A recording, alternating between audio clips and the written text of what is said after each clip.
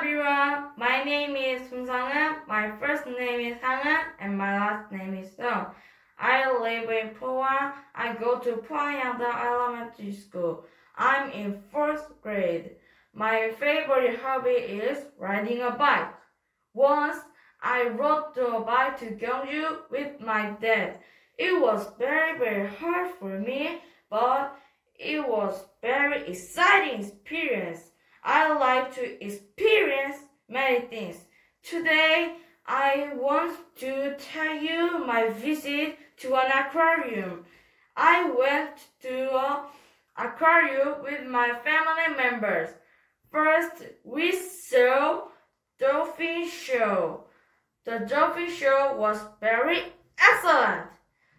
After the dolphin show, we saw walrus and turtles. The walrus and turtles were cute.